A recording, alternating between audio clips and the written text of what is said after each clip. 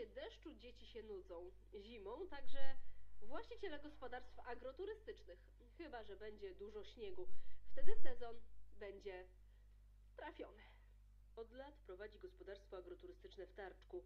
Anna Sokalska mówi, latem dużo tu turystów, zimą trzeba sobie znaleźć zajęcie. Robimy sobie takie upominki dla dzieciaków. W domowej pracowni powstają magnesy i figurki. To tylko tak się mówi, że zima to rolnik leży i odpoczywa. Nie, na zimę się zawsze zostawia jakieś prace, które można wykonać pod dachem, na które nie ma czasu w sezonie letnim. Dlatego Michał Sokalski przygotowuje warsztat kowalski. Miechy leżą tu od dawna, ale dopiero teraz może zabrać się do pracy. Sobie trzeba coś proponować, żeby się rozwijać, żeby coś nowego robić, prawda? Jest tyle rzeczy ciekawych na świecie, że no nie można stać w miejscu.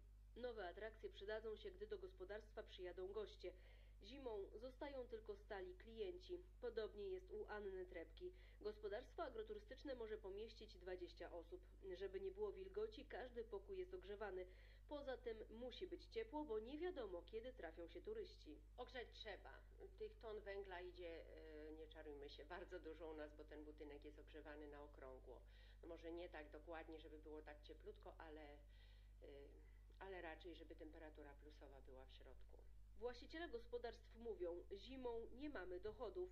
Katarzyna Witkowska z Centrum Tradycji Turystyki i Kultury Gór Świętokrzyskich tłumaczy, trzeba poszerzać ofertę o atrakcje pod dachem.